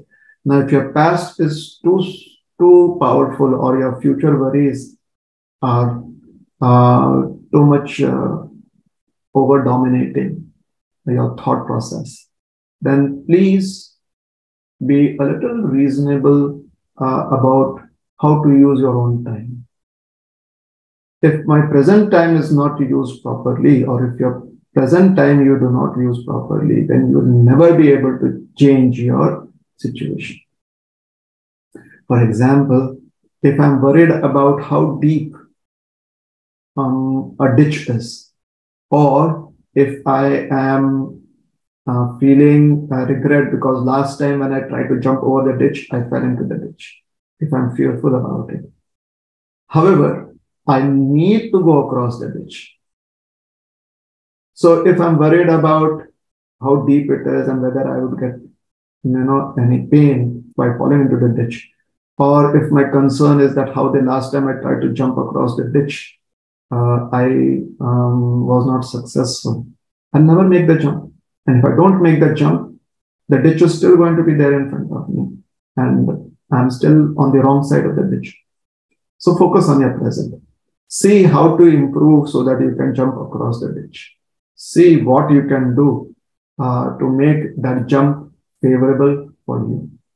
Give up everything that makes the jump unfavorable for you. So again, accept that which is favorable and reject that which is unfavorable. And that is our request into you. Focus on the present and work on improving your situation by doing whatever is essential in the present. And if your past and future are too overpowering, then find the strength to suppress them. Find the strength to rise above your past and your future and work in the present. That is how you can change your situation. And once you become successful with your present efforts, then your future worries will subside a little and your past concerns will also go away because you've been successful now. So, to work for success, be focused on the present and see how you can improve your abilities, your capabilities in the present so that you can be successful in your present actions. तो प्रश्न इनका यह था कि पूर्व जो भी हमारे जो भी अपयश थे या जिसका, जिसकी वजह से हम हमेशा दुखी रहते हैं, या भविष्य में यह चिंता होती है कि क्या फिर से अपयश होगा या फिर से समस्याएँ आएँगी, उसकी वजह से हम परेशान रहते हैं और मायूस रहते हैं। तो क्या करना चाहिए? देखिए, अगर आप अपने भविष्य से परेशान रहेंगे या आप अपने भूत से, भूतकाल का जो भी आपकी समस्याएँ हैं उसकी वजह से आप मायूस रहेंगे या चिंतित रहेंगे। तो फिर आप अपने वर्तमान में कार्य नहीं कर पाएँगे और वर्तमान में अगर आप कार्यगत नहीं रहेंगे तो आप अपनी परिस्थिति को बदल नहीं पाएँगे क्योंकि आप कुछ कर ही नहीं रहे। परिस्थिति बदलेगी कैसे? तो अगर आप अपने वर्तमान की परिस्थिति को बदलना चाहते हैं तो उसके लिए आपको वर्तमान में कार्य करना पड़ेगा और वर्तमान में अगर आपको कार्य करना है, कर्म करना है तो आपका पूरा ध्यान वर्तमान में रहना चाहिए, आपका पूरा ध्यान इस बात में रहना चाहिए कि वर्तमान में आपकी योग्यता क्या है और उन योग्यताओं को या आपकी जो काबिलियत है उसको अगर बढ़ाने की आवश्यकता है उसको इम्प्रूव करने की आवश्यकता है तो आप उस पर ध्यान दीजिए कि आप अपने काबिलियत को या आप अपने क्वालिफिकेशंस को इम्प्रूव करें उसमें आप जो है आ, कुछ बढ़ोतरी ले आप अपने आप को और सक्षम बना सके। इस पर ध्यान दें। और अगर आपने ऐसे करने में आपको सफलता मिल गई, अगर आप अपने आपकी जो भी योग्यताएँ, आपकी जो भी काबिलियत है, उसमें आप और अधिक सक्षम हो गए, आप और अधिक उसमें जो है क्वालिफाइड हो गए हैं तो फिर आपका, आपकी परिस्थिति बदलेगी। और जिस दिन आपकी परिस्थिति बदलेगी, उसी को आप यश के रूप में देखोगे, उसी आपको आप सक्सेस के रूप में देखोगे। और जब आपको अपने जीवन में कुछ सक्सेस दिखेगा, यश दिखेगा, तभी आप पूर्व काल के, भूतकाल के अपयश को भूल जाओगे और भविष्य के जो आपकी चिंताएँ हैं, अपयश के, उसको आप अनदेखा कर दोगे। तो वर्तमान में आपके पास जो संधियाँ हैं, जो अपॉर्चुनिटीज़ हैं, जो आपके पास जो अवसर है और आपकी जो सक्षमता है, आपकी जो काबिलियत है, उस पर ध्यान दीजिए और उसका प्रयोग करते हुए आप वर्तमान में कर्म करते रहिए।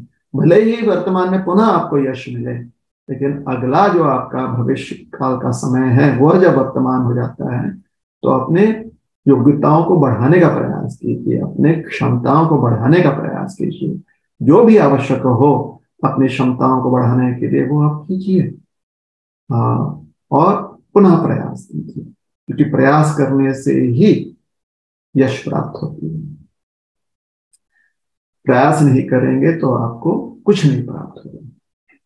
तो ये आपसे निवेदन है, नम्र निवेदन है कि हमेशा आप अपने वर्तमान में कर्मनिष्ठ रहिए। और कर्मनिष्ठ रहते हुए जो कर्म करते हैं, उसमें अपनी क्षमताओं को बढ़ाने का प्रयास कीजिए। आपकी जो क्षमता है, आपकी जो योग्यताएँ हैं, उसको आप और स्किल्ड बनाइए become more skilled in life try to do that प्रयास करने से ही सफलता प्राप्त होगी। When you when you try to improve, then there can be improvement in life. है ना? प्रयास करने से ही सफलता प्राप्त होगी। प्रयास नहीं करेंगे तो निश्चित रूप से कोई परिवर्तन नहीं हरे कृष्ण।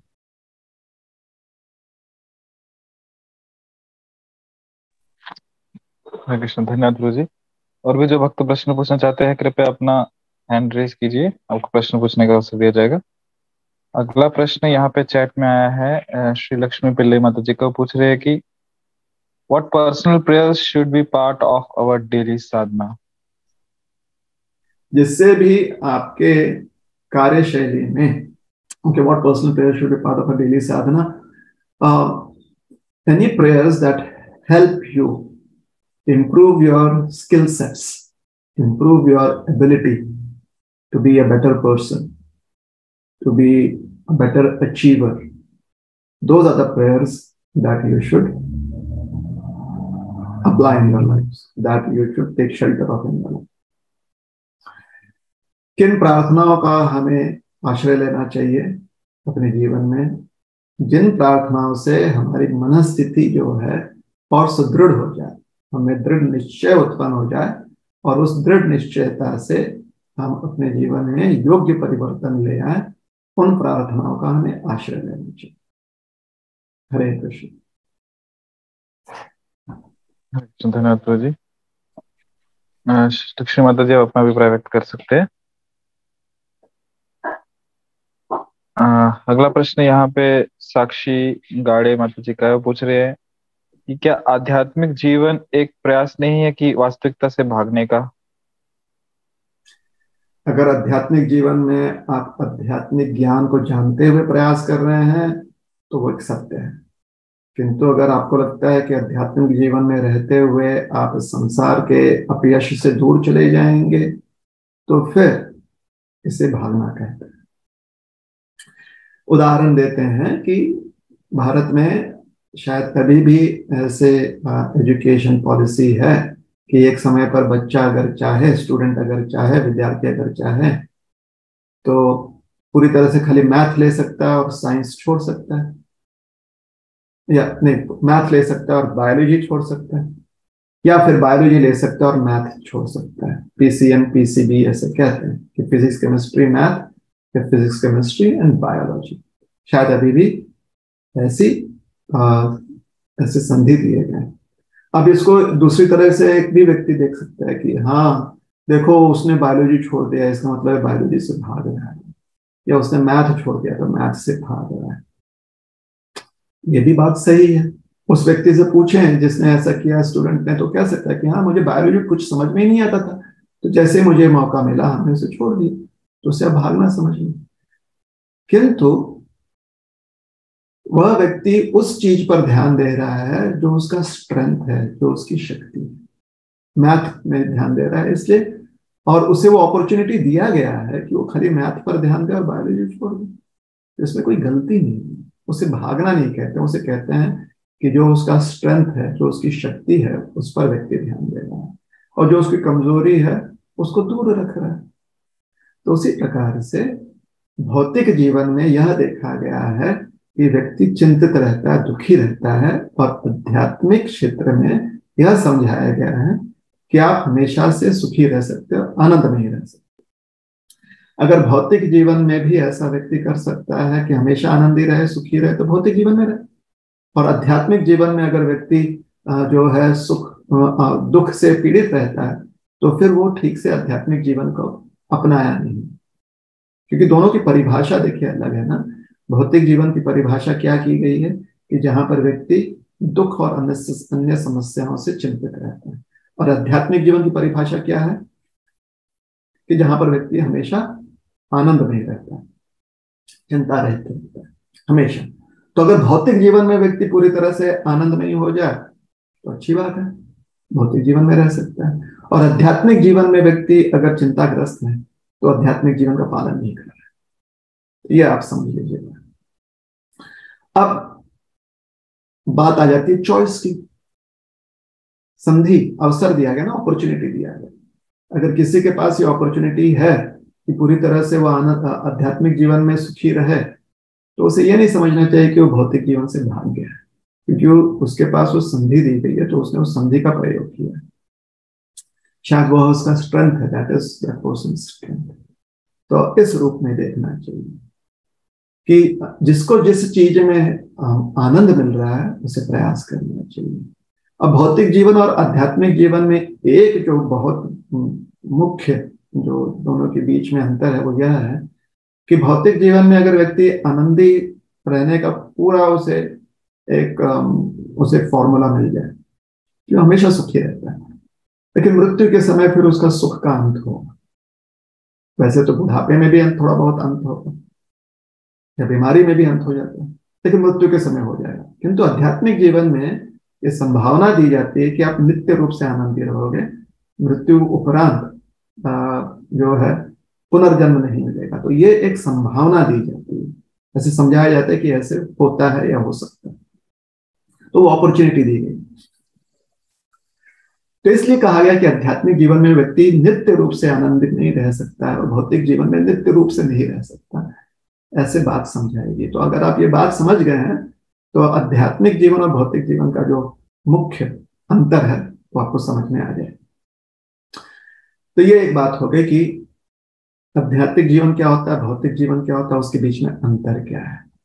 दूसरी बात जो प्रश्न में हमें ऐसा लग रहा है, ये हमारी समझ है कि जो प्रश्न पूछ रहे हैं ना, वो इस उद्देश्य से पूछ रहे हैं या उनकी समझ ऐसी है कि जो व्यक्ति आध्यात्मिक जीवन में चला जाता है, वो भौतिक कार्य नहीं करता। ऐसी बात नहीं है। देखिए, जब तक हमारे पास भौतिक शरीर है, हमें भौतिक कार्य करने पड़ेंगे, भले ही आध्यात्मिक जीवन में हम लगे।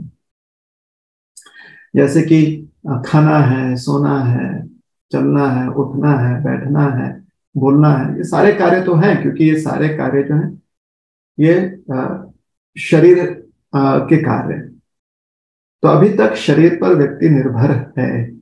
ये सत्य बात है। किंतु वो प्रयास कर रहा है कि पूरी तरह से आध्यात्मिक जीवन में वो स्थित हो जाए। और पूरी तरह से आध्यात्मिक जीवन में व्यक्ति कब स्थित होगा? जब इस जीवन में वो प्रयास करते रहे और मृत्यु के समय वो पूरा स्मरण जो है, अध्यात्म का करे। तो अध्यात्म समझाता है कि जो व्यक्ति ऐसा करता है उसे पुनर्जन्म प्राप्त नहीं होता। यह अध्यात्म समझाता है। तो ये बात समझने की कि अध्यात्म जो है ना, वो ज्ञान पर आधारित है और अनुभव कभी कभी अनुभव मिल जाते हैं कि कुछ लोग कहते हैं कि हाँ जी, ये भी श्रद्धा की बात है कुछ लोग कहते हैं, ये कथा ऐसी आती है कि पुनर्जन्म किसी का हुआ है, ये व्यक्ति मुक्त हो गया और मुक्त आत्माओं ने आकर अपने अनुभव समझाए हैं। तो ये श्रद्धा की बात है कि आप उन चीज़ों को मानते हैं या नहीं मानते किंतु आध्यात्मिक जीवन का अर्थ क्या है वो समझा रहे हैं। और भौतिक जीवन का अर्थ क्या है वो समझा रहे तो जब तक व्यक्ति हाँ, अपना पूरा जीवन काल समाप्त करते हुए मृत्यु को प्राप्त नहीं हो जाता है तब तक आध्यात्मिक जीवन में भी व्यक्ति को भौतिक कार्य में संलग्न रहना ही है। उस व्यक्ति को भौतिक कार्य करने ही अंतर यह है कि वह व्यक्ति भौतिक कार्यों में लिप्त नहीं होता, वो उसमें आसक्त नहीं होता। उदाहरण के लिए, और ऐसा कैसे हो सकता है? जैसे उदाहरण देते हैं कि जब आप शुरू शुरू में कोई चीज़ सीखते हो, जैसे कि आप साइकिल चलाना सीख रहे हो, कार चलाना सीख रहे हो शुरू शुरू में। साइकिल का उदाहरण ले लेते हैं क्योंकि सरल उदाहरण है। अब साइकिल चलाना अगर सीखते हो तो एक बार जब आप पूरी तरह से अभ्यस्त हो जाते हो तो कभी कभी साइकिल चलाते हुए आप अगर ध्यान भी ना दें, क्योंकि हर दिन आप उसी मार्ग से जाते हो, अगर आप ध्यान भी ना दें, आपका ध्यान किसी और चीज़ में, खाली इतना ही ध्यान दे रहे हैं आप कि रोड पर साइकिल चलाते हुए आप किसी से टकराए नहीं, किसी को तकलीफ़ ना दे, इतना ध्यान रखते हुए आपका मन आपके लक्ष्य पर नहीं है मतलब आप घर जा रहे हैं। रोज आप ऑफ़िस से घर जाते हैं, साइकिल चलाते हुए। आप साइकिल चलाते हुए सिर्फ़ इतना ही ध्यान दे रहे हैं कि आप साइकिल से गिरे नहीं या साइकिल से आप किसी से टकराए नहीं, किसी को तकलीफ़ ना दे। इतना ध्यान आपका है। लेकिन घर जाने के प्रति आपका ध्यान नहीं है। आपकी अभ्यस्तता ऐसी होती है, आपकी आदत ऐसी होती है कि आप घर के तरफ़ ही मुड़ते रहते हैं अनकॉन्शियसली है ना? बिना कॉन्शियसली ध्यान दिए हुए आप जो है अपने घर पहुँच जाते हैं। इसको मसल मेमोरी कहते हैं। तो हो जाता है। कभी कभी ऐसा होता है कि आदमी अपने घर से निकलते हुए और आधा रास्ता निकलने के बाद उसे समझ में आता है कि अरे, वो तो ध्यान नहीं दे रहा था, वो अपने ऑफ़िस की तरफ़ ही जा रहा है, जबकि उसको ऑफ़िस जाना ही नहीं, उसे मार्केट जाना है। तो ऐसे ही बात हो जाती है। मसल मेमोरी की ये बातें जो है कि हमारे अनुभव में हमने देख चुका है। हम हम सबने इसका अनुभव किया हुआ है, हमारे अनुभव में ये बात समझ में आती तो ये उदाहरण क्यों देते हैं? ये अभ्यस्तता की बात है। अभ्यस्तता का अर्थ होता है, जब आप उसमें पूरी तरह से एक्सपर्ट हो जाते हैं या वो आपके लिए अब उसमें ध्यान देने की उतनी आवश्यकता नहीं वो आपका मसल मेमोरी हो जाता है उसे एक्सपर्ट कहते हैं। हम्म, जो स्पोर्ट्स स्टार स्पोर्ट्स पर्सन होते हैं वो इसके बारे में समझते हैं। या जो कमांडो ट्रेनिंग लेते हैं जो मार्शल आर्ट ट्रेनिंग लेते हैं वो इस बात को समझते हैं। या घर में भी जो गृहिणी होती है जो रोटी बनाती है तवा पर सेकती है रोटी को वो भी इस बात को जानती है कि वो इतने अभ्यस्त हो गए उसमें कि अगर उसका ध्यान कहीं और भी रहे तो हाथ से ही उसे समझ में आता है। वो देख रही है तवा को, देख रही है रोटी को, लेकिन उसमें पूरा ध्यान नहीं लगा हुआ। बस उसके उंगलियों से और ऊपर ऊपर जो उसको दिखाई दे रहा है, उस पर ही हाँ वो उस रोटी को अच्छे से सीख ले, क्योंकि अभ्यस्त हो गई। उसी प्रकार से जो व्यक्ति आध्यात्मिक जीवन में अभ्यस्त हो जाता है ना, वो व्यक्ति अपना भौतिक कार्य करते हुए भी उसमें लिप्त नहीं होता। ये सिंपल लॉजिक है। ठीक है? ये बहुत ही एक साधारण तर्क है। तो आ, ऐसा व्यक्ति आध्यात्मिक जीवन में रुचि रखते हुए भौतिक क्रिया करता है किंतु उसमें लिप्त नहीं होता। आ, उसमें वो आसक्त नहीं होता है। और अगर कोई व्यक्ति अपना कर्म कर रहा है उसमें आसक्त नहीं है तो उसे भगोड़ा नहीं समझना चाहिए। यही समझना चाहिए कि उस व्यक्ति की रुचि कहीं और है आ, उसने कोई अलग चॉइस अपने जीवन में लिया कर, लिया है और वो अपने स्ट्रेंथ पर काम कर रहा है। ठीक है? चलिए।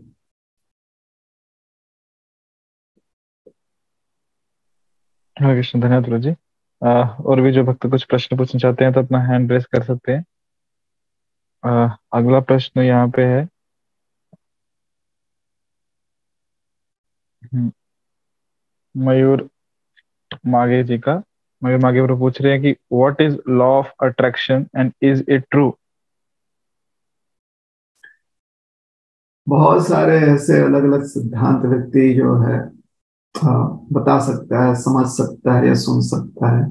अगर आपके जीवन में उससे लाभ मिल रहा है तो आपके लिए योग्य सिद्धांत है।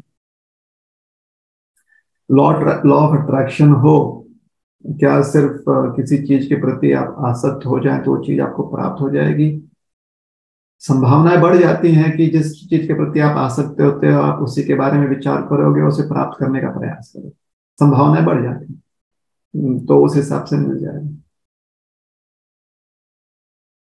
अभी उदाहरण के लिए अगर कोई व्यक्ति जो है खाली ये सोच रहा है कि आ, हम जो है पैसे के प्रति आसक्त हो जाए और उसके प्रति खाली आसक्ति निर्माण करने के लिए वो हमेशा कुछ ना कुछ ध्यान करते रहता है या कुछ ना कुछ वो विचार करते रहता है।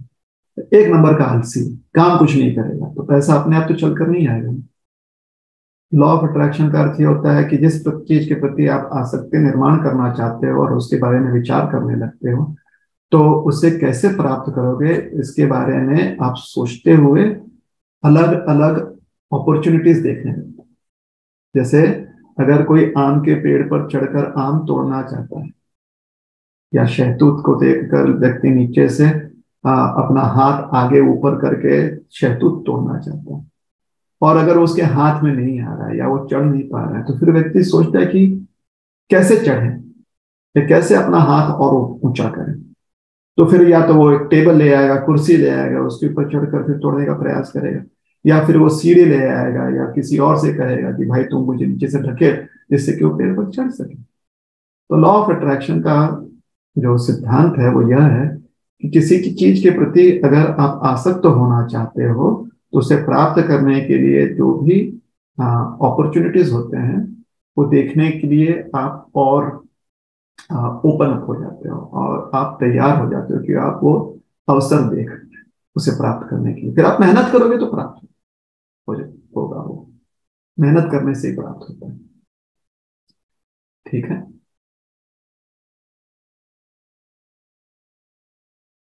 हरे कृष्ण, धन्यवाद प्रभु जी। और भी जो भक्त प्रश्न पूछना चाहते हैं, कृपया अपना हैंड रेस कीजिए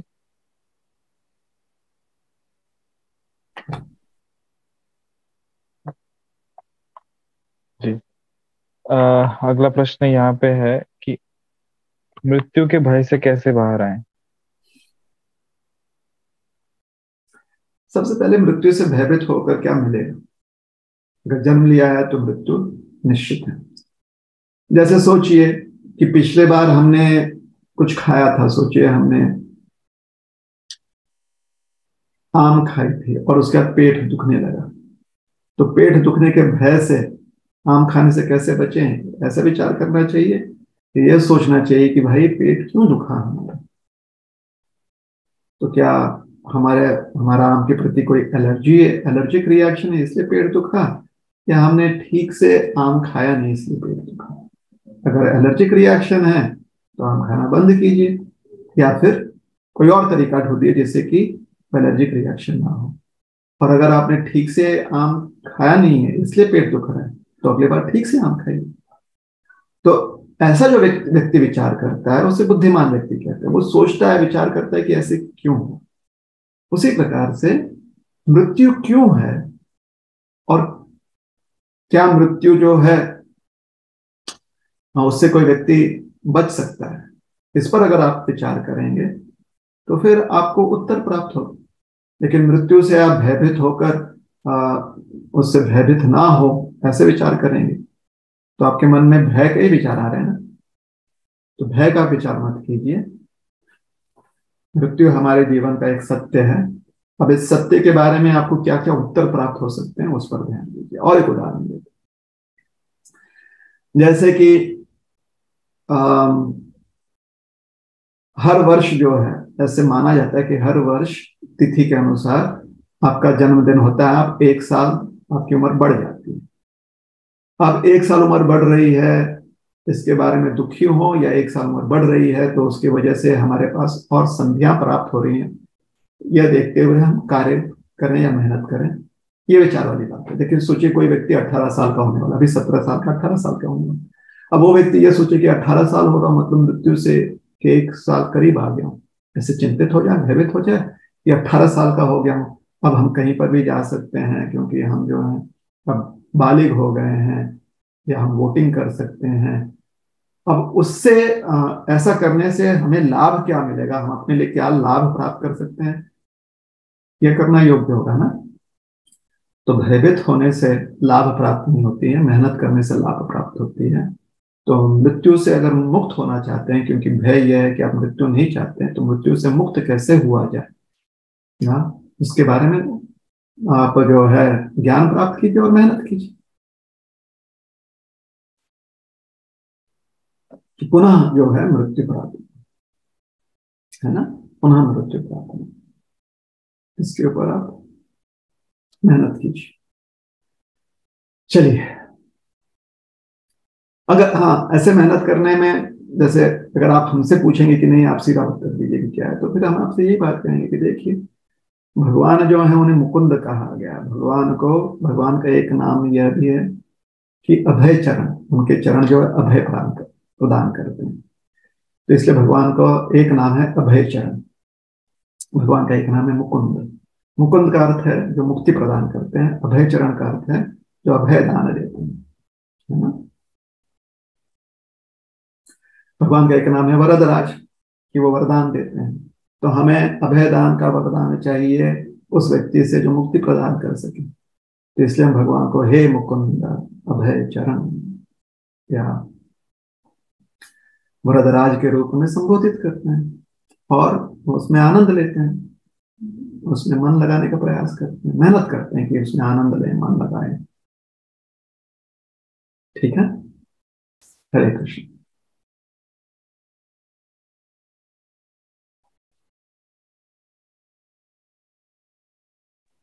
हरे कृष्णा, धन्यवाद प्रभु जी।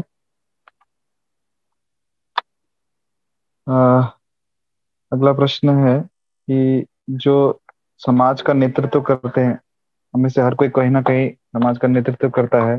कहीं संख्या तीस की होती है, कहीं तीन की होती है। तो एक अच्छा नेतृत्व करने के लिए एक नेता में क्या गुण होने चाहिए? मेहनत करनी चाहिए। देखिए, जो व्यक्ति मेहनत करता है, उसके जो गुण होते हैं वह गुण दूसरों को प्रेरणा देते हैं, तभी उस व्यक्ति को वो अपना अपना नेता के रूप में स्वीकारते हैं। तो वैसे ही मेहनत करते रहिए। मेहनत करने से जो आपके गुण हैं, वो और प्रखर होंगे, वो और निखरेंगे। आपके गुण जो है, दूसरे लोगों को आकर्षित करेंगे और दूसरे लोग इस प्रकार से आपको नेता बनाए रखेंगे। ठीक है? मेहनत करते रहिए। मेहनत कैसे करना चाहिए? वह मेहनत उन चीज़ों में लगानी चाहिए जो आपके लिए अनुकूल हो उसे स्वीकारिए जो प्रतिकूल है उसे त्यागिए और आ, सब कुछ चेतना पर आधारित है तो जो कुछ आपकी चेतना के लिए अनुकूल है उसे स्वीकारिए। चेतना को शुद्ध रखने में चेतना को प्रज्वलित रखने में जो कुछ अनुकूल है उसे स्वीकारिए और उसके लिए मेहनत कीजिए क्षमा कीजिए। जो चेतना को शुद्ध रखने में या चेतना को विकसित रखने में जो कुछ अनुकूल है उसे स्वीकारिए और जो कुछ प्रतिकूल है उसे त्यागिए। इसमें मेहनत कीजिए।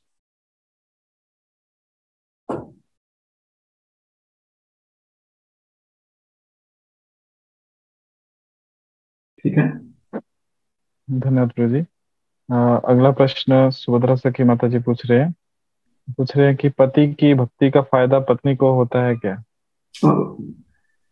भक्ति भगवान के प्रति की जाती है और कभी कभी उस भक्ति को हम साकार रूप में कर पाए, हमारे लिए जो साकार रूप है तो फिर हम देखते हैं कि भगवान जो है, हर जगह कैसे स्थित है। जैसे भगवान पीपल के वृक्ष में स्थित हैं, भगवान जल में स्थित हैं, भगवान जो है अग्नि में स्थित हैं। हम देखते हैं साकार रूप में भगवान के प्रति अपनी सेवा भाव रख सके। साकार का अर्थ यह नहीं है कि हमने कोई मूर्ति बनाई है, साकार का अर्थ यह है कि जो हमारी इंद्रियों को समझ में आ रहा है उसमें हम भगवान को देखने का प्रयास करें हमारे इंद्रियों को पीपल का वृक्ष दिख रहा है इसलिए पीपल के वृक्ष में भगवान स्थित हैं। ऐसे हम आ, स्वीकार करके आ, पीपल के वृक्ष के प्रति अपनी श्रद्धा व्यक्त करते हैं। ये समझने की बात है। ठीक है? तो अगर आप अपने पति में भगवान को स्थित देखकर उनकी सेवा करना चाहते तो सेवा कीजिए। उसी प्रकार से सिर्फ़ पति के लिए पत्नी की ऐसी वृत्ति ऐसी बात नहीं, पत्नी के स्वरूप में भी पति को भी ऐसी भावना रखनी चाहिए। आप अपने बच्चों में भगवान को देख सकते हैं और बच्चों के प्रति जो है सेवा भाव रख सकते हैं। बच्चे माता पिता के प्रति ऐसी वृत्ति रख सकते हैं कि माता पिता साक्षात हमारे जो है भगवान उनमें स्थित हैं, बच्चे भगवान के साक्षात स्वरूप हैं। वो भगवान के स्वरूप है, ये समझना चाहिए, लेकिन वो भगवान है ये नहीं? जैसे पीपल का वृक्ष हम भगवान नहीं मानते। हम ये मानते हैं कि उसमें भगवान स्थित है। इस प्रकार से भगवान जो है, विग्रह में स्थित है, भगवान जो है, जल में स्थित है, जैसे गंगा जी। गंगा जी ये भगवान के चरण कमल से व्यक्त हुई हुई है इसलिए हम मानते हैं कि भगवान उनमें स्थित है। स्थित का अर्थ होता है जैसे बैंक होता है ना बैंक एक बिल्डिंग ही है, लेकिन हम जानते हैं इस बिल्डिंग में पैसा नहीं है। उसी प्रकार से गंगा जी के पास से जाएँगे तो वहाँ पर हमें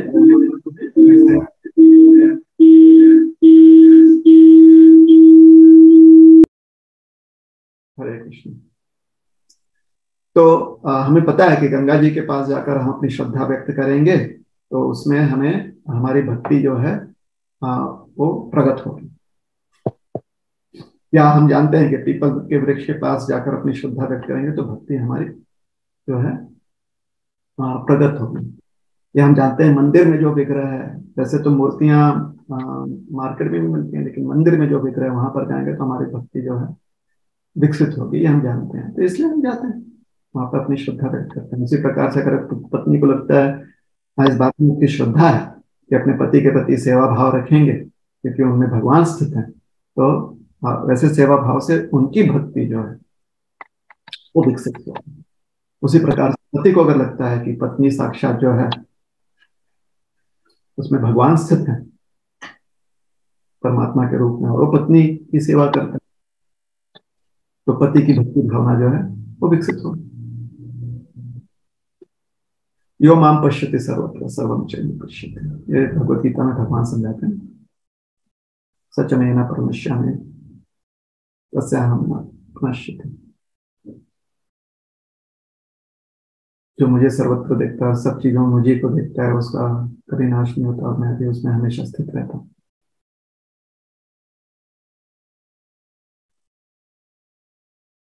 ठीक है? हरे कृष्णा। प्रभु जी, मुझे ऐसा लगता है कि प्रश्न पूछना चाहते हैं कि पति यदि भगवान की सेवा कर रहे हैं तो उसका सेवा का फल पत्नी को मिलता है क्या? दूसरों के सेवा का फल का आप क्यों चिंता कर रहे हैं। अपनी मेहनत पर पूरा विश्वास रखिए बाकी का अगर किसी का मेहनत का फल आपको मिलता है तो आपके लिए बोनस हो गया ना। बोनस से थोड़ी आपका काम चलेगा। जो आपकी आमदनी है, उससे काम चलेगा ना। बोनस से तो आप कुछ अधिक जैसे दिवाली में बोनस मिलता है तो आदमी सोचा चलो जाके कपड़े नए कपड़े और खरीद लेते क्योंकि दिवाली का बोनस मिल रहा है नई गाड़ी खरीदी दिवाली का बोनस मिल रहा है। लेकिन बोनस हमेशा नहीं मिलता है ना। हमेशा तो आपकी जो आ, हर महीने के मासिक जो आपकी आमदनी है वो आपको मिलती है। उसमें आपके घर का खर्चा चलता है। तो उसी प्रकार से आपके आध्यात्मिक जीवन में जो भी विकास होगा वो आपके मेहनत पर होगा। अपनी मेहनत करते रहिए। और अगर आपके पति, पत्नी माँ बाप भाई, गुरु, शिष्य, जिसके भी मेहनत का फल आपको मिलता है तो आपके लिए बोनस अपनी मेहनत करते रहिए। दूसरों के प्रति जो सेवा भावना है उससे भी आप बनाए रखें। सेवा किस प्रकार से दूसरों की करनी है? यह देखते हैं कि उनमें भगवान बसते हैं। हरे कृष्ण। हरे कृष्ण, धन्यवाद गुरु जी आ, और किसी के मन में कुछ प्रश्न यश से की मतलब जब कुछ कहना चाहते हैं तो माइक ऑन करके कह सकते हैं।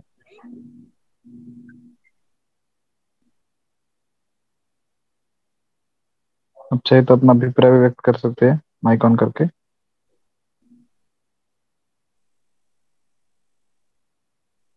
हरे कृष्ण प्रभु हरे कृष्ण प्रभु हरे माता जी। एक जूम बंद कर दीजिए प्लीज़ एक ही चालू रखिए।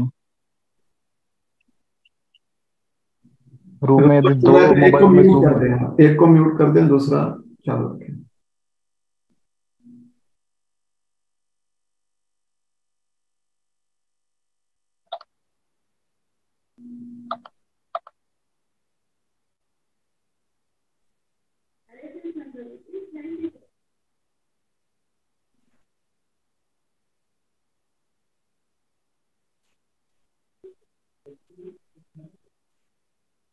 हरे कृष्ण माता जी आप बोल सकते हैं।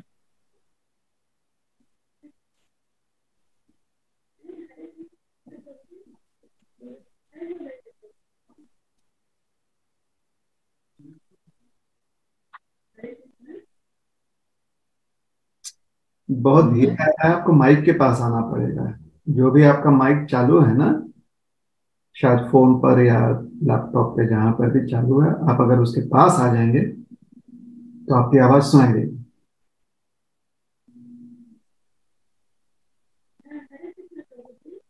या वॉल्यूम कम होगा आपके माइक का वॉल्यूम आप बढ़ा दें तो आवाज़ सुनाई देगी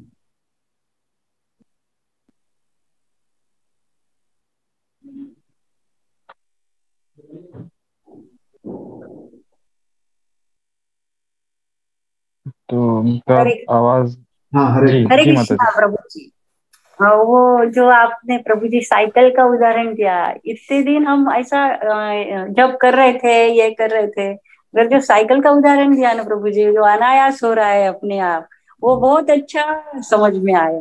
एकदम क्लियर हो गया कि हमारी मन की अवस्था कैसे हो रही है, वो थोड़ा सा जान पाए हम लोग। धन्यवाद। ये सुभद्रा सखी माता जी तो नहीं बोल रही थी, ये तो जयश्री माता जी बोल रही थी ना? जी प्रभु जी।